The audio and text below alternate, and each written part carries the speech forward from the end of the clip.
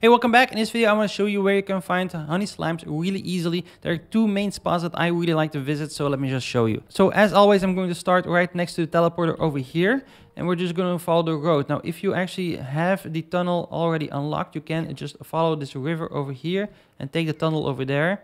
Um, that's going to be a lot shorter than the route that I'm going to take, but I'll just show this one so everyone can follow.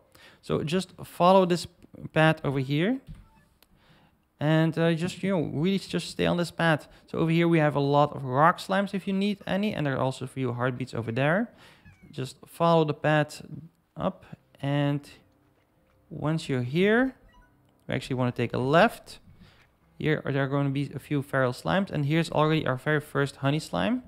Just just stay on the path and here you're going to find even more if for whatever reason you can't find any honey slimes here, for example, if there was a tar breakout, you can actually also just come over here, so right above the Angler Gordo. So just, you know, go up this path to the right of the waterfall. So just follow that away up all the way to the split tree. And from the split tree, just go in this direction. And here you're going to find also a lot of honey slimes.